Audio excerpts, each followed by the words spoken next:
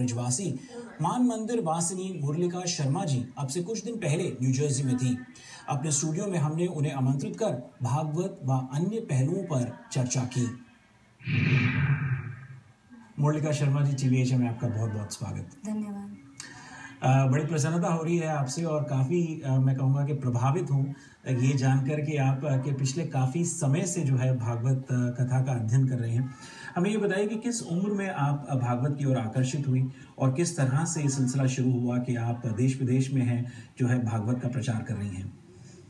वैसे तो हमें जन्म से ही भक्तिमय वातावरण मिला है, लेकिन जब मैं दस वर्ष की थी तो मैंने ये कथा कहना आरंभ किया अपने गुरु महाराज की प्रेरणा से और उनकी आज्ञा से और उन्हीं के सानिध्य में मुझे ये सब करना और ये सब मुझे सीखने को मिला। क्या लगता है कि बच्चे और युवा वर्ग जो है भागवत की और उनका ध्यान केंद्रित करने के लिए क्या करना चाहिए?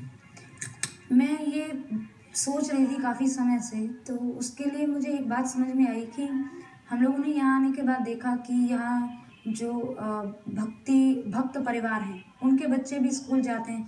तो वो लोग प्रारंभ से बच्चों को सिखाते हैं भक्ति करना।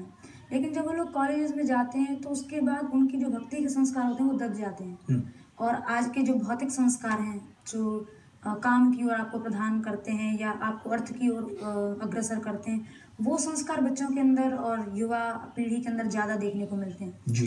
तो मैं ये कहना चाहूँगी कि चूँकि भारतीय संस्कृति ही नहीं संपूर्ण विश्व की संस्कृति का जो मुख्य आधार है वो है धर्म हम्म, वो है भक्ति। कृष्ण भक्ति। तो मैं ये कहना चाहूँगी कि सभी विद्यालयों में किसी अंश में अगर आप छः घंटे बाकी पढ़ाई पढ़ाते हो तो पंद्रह मिनट भक्ति की शिक्षा के लिए भी देना चाहिए। हम्म, जिससे आज की युवा पीढ़ी को पता चले कि हम लोगों का मूल क्या है जीवन का लक्ष्य क्या है क्या होना चाहिए। बच्चों की बात चली है तो मैं जानता हूँ कि आप स्वयं मान मंदिर सेवा संस्थान संस्था से जुड़ी हुई हैं ब्रिजवासी हैं।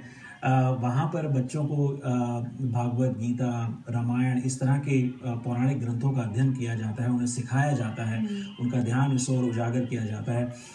संस्था की इसके अतिरिक्त क्या कार्य करनी है? संस्था की बहुत अधिक गतिविधियाँ हैं। आपको कहाँ तक बताएँ?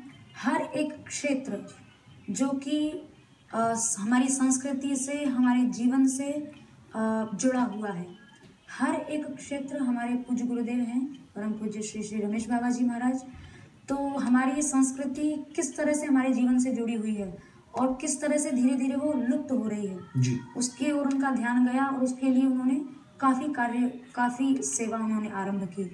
अब जैसे देखें वो अपना इकलौते बेटे हैं अपनी माँ के सब कुछ छोड़ छाड़ के आए और उनके जो पिता थे वो भी अंग्रेज़ों के शासनकाल में और पुलिस महानिरीक्षक थे अधीक्षक थे वहाँ के। तो कोई सुख सुविधा की कमी नहीं थी। वो सब कुछ छोड़ के आए और उसके बाद उन्होंने ब्रज में रहे। अभी साठ वर्ष उनको हो गए बासठ वर्ष। तो वो ब्रज में रह रहे उसके बाद उन्होंने लगातार ब्रज का विनाश देखा। और ब्रज का विनाश देखिए चाहे वो पृथ्वी है जल है तेज है वायु है आकाश पाँच तत्वों से सारा संसार चल रहा है। जी। और इन पाँचों तत्वों के ऊपर सबसे ज़्यादा संहार हो रहा है। हम्म, हम कहते हैं जल है तो जीवन है जल नहीं तो जीवन नहीं है। हम्म, हम कहते हैं भूमि है तो हम रह रहे हैं भूमि नहीं तो कहाँ से रहेंगे? तो देखा जाए तो पाँचों तत्व जो है इनकी बड़ी अहम भूमिका है हम सबके जीवन के साथ। तो उसके लिए बाबा ने काफ़ी संघर्ष किया और लगातार जब से आए वो संघर्ष कर रहे हैं कि किसी तरह से ये संस्कृति बचे। जी जल की आपने बात करी थी तो मुझे मालूम है कि मान मंदिर सेवा संस्थान काफ़ी खबरों में रही थी यमुना स्वच्छता को लेकर के। और आप लोगों ने एक आंदोलन भी चलाया था जिधर भजन कीर्तन के साथ हाँ। आप लोग बढ़े थे आगे। इस आंदोलन में किस कदर आपको सफलता मिली उसके बारे में बताइए। यमुना को स्वच्छ करना कितना ज़रूरी है? गंगा स्वच्छ अभि, अभियान जो है नरेंद्र मोदी जी चला रहे हैं। लेकिन यमुना के लिए क्या कहेंगे आप? यमुना के लिए हम ये कहेंगे कि अगर जल नहीं तो जीवन नहीं सब लोग कहते हैं। तो यमुना जी में इस समय हो क्या रहा है कि पिछले कई वर्षों से जो यमुनोत्री का जल है वो हरियाणा प्रांत में एक हथनी कुंड बैराज है। हम्म। उसमें उसको बंद कर दिया गया है। और उसके बाद डेढ़ सौ किलोमीटर तक वहाँ केवल रेत का व्यापार होता है। वहाँ यमुना जी का एक बूंद जल भी नहीं है। हम्म, उसके बाद दिल्ली से एक नई यमुना शुरू हो जाती है। तो जब पानी आ नहीं रहा है तो यमुना वहाँ से कहाँ से शुरू हुई? तो वो केवल दिल्ली के लोगों का करोड़ों लोगों का केवल वो मलमूत्र है कारखानों का गंदा वेस्ट पानी है वो सब है।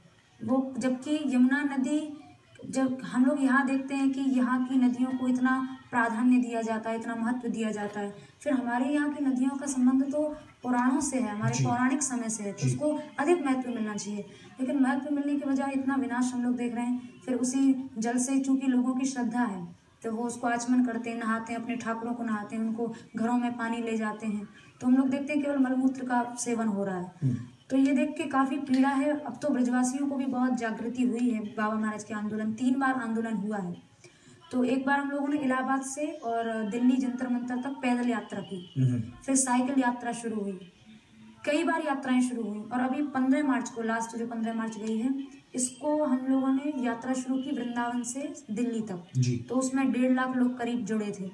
काफ़ी और देश विदेश के सब जगह के लोग थे यहाँ से भी काफ़ी लोग गए थे उसमें। चलिए आखिरी प्रश्न करके बातचीत समेटेंगे आपने कई पुस्तकें लिखी हैं और उनमें से एक जो है राधा रसीली ब्रज यात्रा। राधा रसीली ब्रज यात्रा जो है काफ़ी प्रचलित रही काफ़ी प्रसिद्ध हुई। इस पुस्तक के बारे में हमें कुछ बताइए।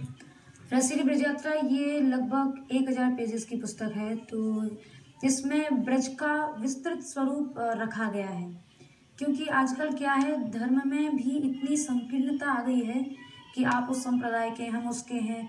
ऐसा करने से ना लोगों ने ब्रज को बहुत कम एरिया उसका कर दिया बहुत संकुचित कर दिया। हम्म, तो इस पुस्तक में ये अगर हम इसको ऐतिहासिक पुस्तक कहें तो ये कोई अतिशयोक्ति नहीं होगी क्योंकि हमने भी एक महापुरुष के ही मार्गदर्शन में इसका लेखन कार्य संपन्न किया है। हम्म। और वो एक ऐसे महापुरुष हैं जिन्होंने ब्रज के कई स्थलों को कृष्ण काल के बाद वो स्थल अब प्रकट हुए हैं। तो जो ब्रज के लुप्त स्थल हैं उनका भी उस रसीली ब्रज यात्रा में ज़िक्र किया गया है।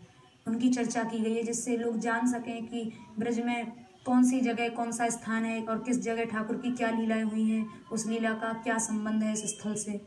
तो ऐसे करके और ब्रज का विस्तृत रूप अभी उसके सेकंड वॉल्यूम पे काम चल रहा है। हम्म। उसका दूसरा खंड भी जल्दी प्रकाशित होगा। लेंगे ब्रेक और छोटा सा ब्रेक और ब्रेक के बाद